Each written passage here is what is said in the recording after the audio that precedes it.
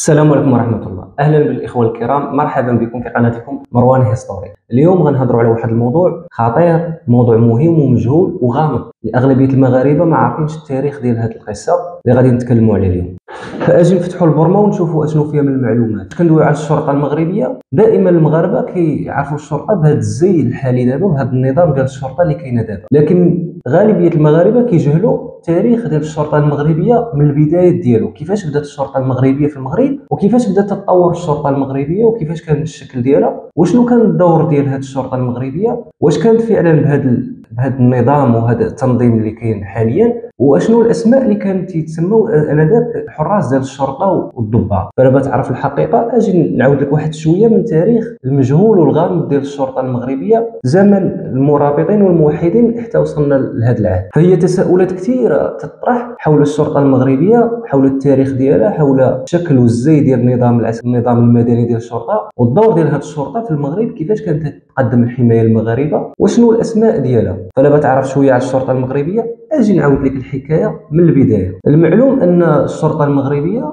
أو مفهوم الشرطة غادي يظهر مع المرابطين والموحدين زمن الدول اللي حكمت المغرب. هذا المفهوم ديال الشرطة كان كان تيسميوه المرابطون صاحب الشرطة. هذا المنصب ديال الشرطة أو صاحب الشرطة غادي يظهر في عهد الموحدين والمرابطين واللي كان تيتكون من القضاء والمظالم وأسواق المدينة والمدينة. فهذا هو المنصب اللي كان كان ديك الساعة في عهد المرابطين والموحدين. هذا المنصب كان تيتعطى الرجل مناسب في المكان المناسب. كان تيتعطى الشخص اللي عنده ثقة وعنده واحد الكاريزما وعنده واحد الاستحقاق اللي يقدر يساير الحكم ديال المدينة ويحافظ وينشر الأمن والأمان والسلم في المدينة باش ما يهاجموهاش القبائل الأخرى وأيضا باش ما يكونوا يقضي على الجريمة واللصوص وقطاع الطرق. هذا الرجل اللي كان تياخذ المنصب كان خاصو ضروري يكون عنده إلمام بالفقه والعلم باش يطبق الأحكام الشرعية بناء على الإسلام وما يظلم حتى واحد. فعلا غيتوارث هذا المنصب. المارينين بعد الموحدين. وغادي يعطيو واحد الاسم آخر هو الجناديرة. وكانت المهمة ديال هذا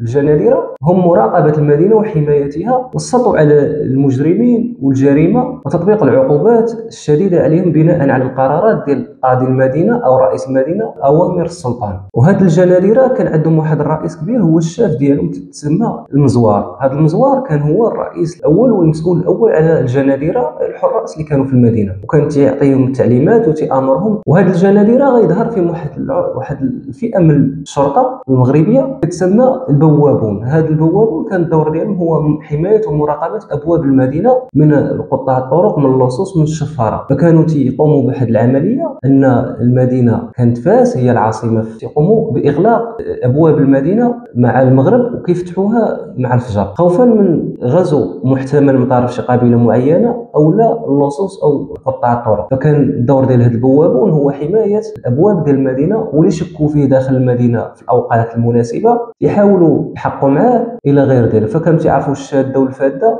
على أي واحد داخل وخارج. كانوا مخابرات ديال المدينة. هذا المنصب ديال المزوار هو الشاف الكبير ديال ديالهم. كانت عنده المهمة هو المخابرات خاصو يجمع المعلومات بناء على المساعدين ديالو الاعوان ديالو فكان تيجمع المعلومات على أي حالة مشتبه بها فكان تيقدمها للسلطان. من بعد كيطبق عليها الحكم الشرعي بناء على الإسلام. تبان هنا تيبان أن دور الشرطة في هذه المرحلة هو دور مخابراتي تنفيذي أي أنهم كيجمعوا المعلومات على المشتبه به وفاش كيطبق عليه الحكم تيعاقبوه ونزيد أكثر أن البواب اللي تيكونوا في أبواب المدينة فاش كتسد المدينة مع المغرب إلا يوم الجمعة اللي كانت تسد مع الظهر الناس كتمشي تصلي.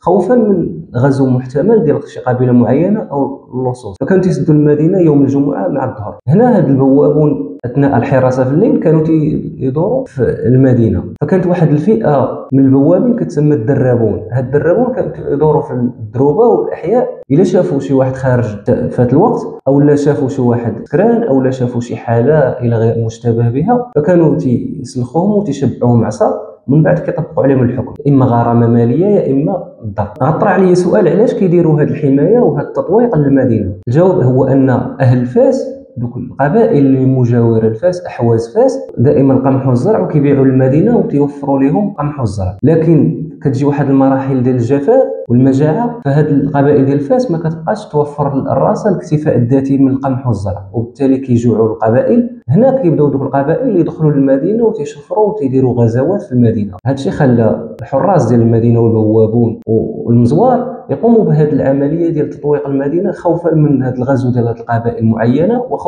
من فقدان المحلات التجارية ديال أصحابها. والأكثر من ذلك أن هاد البوابون أو الجنادره إلى فرات شي حاجة وتعرفوا بأنهم هما اللي كانوا مسؤولين ديك الليلة فكانوا حتى هما كياخذوا أشد عقاب عليهم وكيخلصوا الغرامة ديال داك السيد اللي تشفر ليه الحانوت ديالو أو لا تشفر شي طاحونة إلى غير ذلك. هنا تصرح المؤرخ عبد القادر الطيب قادري أن فاس عرفت واحد مرحلة الجفاف عام 1937 وهذه المرحلة اللي ظهرت في فاس ضربت جميع المدن المغربية هذا المر... الجفاف. وكانت هذه المرحلة خطيرة بالنسبة لفاس لأن غالبيه غالبية المدن عانوا من هذه المسألة ديال الجفاف وغادي الشرطة غادي تعاني مع مع الشفارة والسراقة لأنهم كثروا وأصبحوا كثار في هذه المرحلة. وكثروا قطاع الطرق واللصوص في هذه المرحلة ديال 1937 فهذا الوقت غادي يظهر واحد المصطلح آخر هو الزطاط أو الزطاطة أو هذه المهنة اللي كانوا تحترفوها المغاربة. الدور ديال هذه المهنة هو حماية القوافل حماية الناس اللي عندهم دوك القوافل ديال التجارة. ديال البيع والشراء والزرع اللي كانوا تيتنقلوا بهم من القبيلة للمدينة باش يبيعوهم. فكانوا تيتعرضوا لمقطع الطرق واللصوص كيشفروهم وكيخربقوا لهم داكشي وكيديو لهم الغنائم ديالهم. هنا غتظهر هذه المهنة ديال الزيطاطة. كان تياخذها يا إما فقيه معروف عنده سمعه أو لا شريف من الشرفاء ولا رئيس الزاويه فكانوا هما اللي تيتقلدوا هذه المهنة ديال الزيطاطة لأن كان عندهم قوة وشهرة وسمعه ومكانة وسط القبائل فكانت فغادي تظهر هذه المهنة ديال الزيطاطه باش يحميو الناس. والأكثر من ذلك غيتقلد هذه المهنة بعض القياد المخازنية بحال العيادي الرحماني بحال القندافي وقياد آخرين اللي كانوا تيوفروا الحماية سواء المغاربة اللي كانوا تيتنقلوا بالسلع ديالهم أو الأجانب اللي كانوا تيدخلوا المغرب وكيدوزوا من القبائل اللي كانت سائبة كانت فيها شوية السيبة وغياب الأمن. وهكا بدات تضعف الدولة الدولة حتى ضعفت مزيان ودخلت تحت الحماية تحت الاستغلال الفرنسي اللي غادي يتعقد واحد المؤتمر ديال 1906 في الخزيرات أي مؤتمر الخزيرات أو الجزيره الخضراء اللي حضرته الدول الأوروبية. وهنا الدول الأوروبية غيخرج بواحد القرار بانشاء بإنشاء شرطه مغربية في الموانئ المغربية. علاش جاروا هذه الشرطه من أجل حماية المصالح التجارية ديالهم والاقتصادية في هذه المناطق من اللصوص وقطاع الطرق وفعلا تأسست هذه الشرطه المغربية في الموانئ في العرائش وطنجه والرباط من أجل حماية المصالح ديالهم وحماية الأمن ديالهم وحماية أنفسهم. وهنا من بعد فاش تفرضت الحماية على المغرب غادي تبدأ هنا غادي يبدا المغرب في تأسيس الشرطة المغربية وغادي بمساعدة فرنسا فبدأت تتاسس الشرطة المغربية. وكان الدور ديالها هو مراقبة المدن ثم حماية السلطان وحماية الأجانب اللي كانوا في المغرب في مختلف المدن المغربية. وهنا غادي يتأسس واحد المكتب كان سميتو كوميسارية. هذا المكتب كانوا فيه المفتشين والأعوان والمقدمية اللي كانوا تيقوموا كل واحد بالدور ديالو. فبدات فبدات المكاتب كتكثر في المغرب حتى أصبحت الشرطة تتطور شيئا فشيئا. عام 1956 غادي ياخذ المغرب استقلال. وبعدها مباشرة غتأسس أول إدارة أمنية في المغرب على يد محمد الغزاوي واللي غيكونها هما المغاربة أنفسهم غادي يخرجوا على تقليد الفرنسي